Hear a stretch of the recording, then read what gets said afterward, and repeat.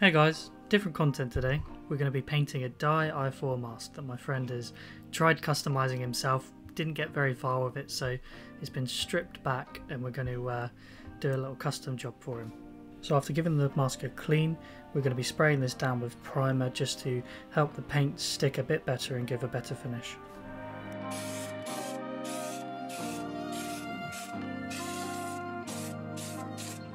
I added two coats of primer to this, but two to three coats is about right when you're doing this to your mask.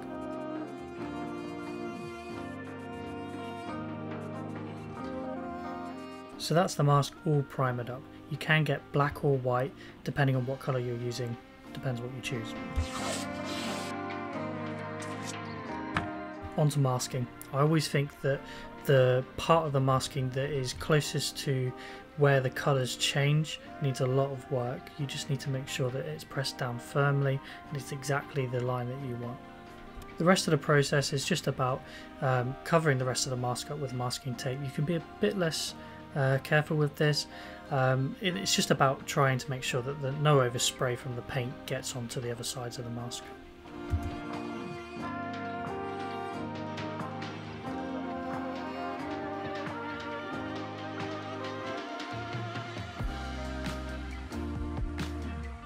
Now you've got the masking tape on, you can then spray whatever design or colour you want onto the mask. We're going for a black on the left side and a, um, a white on the right side look with a splatter of uh, red blood on it as well.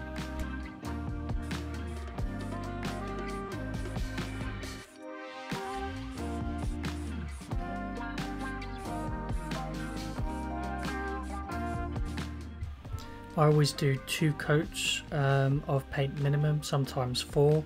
Um, and in between your coats, give it about an hour to dry. That's about right. Um, before you move on to your next coat as well.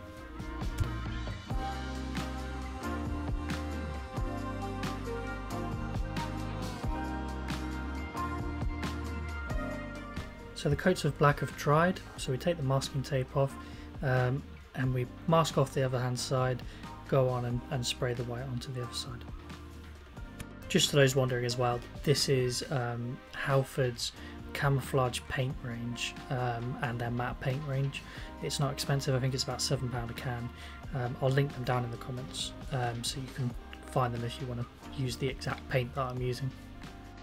That's three coats of white paint dried, so time to take the masking tape off and see what it looks like.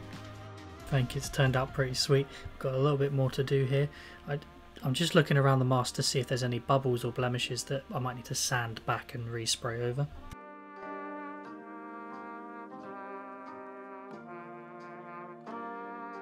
So now for the blood splatter look that my friend wanted. So I'm just using a paintbrush that I've sprayed paint into a cup with. I'm just flicking it onto the mask to create that splatter look.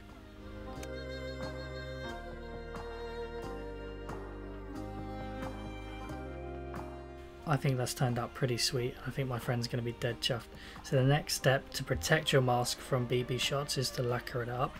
Um, I would try four to five coats of lacquer. Give it a good, I would say three, four hours between coats just to make sure it's really um, getting taken on there. And finally guys, here's some pictures that uh, my friend sent me. I think he's really, really happy with it and um, I think it turned out really well. So um, if you've enjoyed this video, yeah, please give us a like and a subscribe. And if you uh, if you do decide to spray your mask, tag me in the Instagram post and I'll make sure to comment and share it.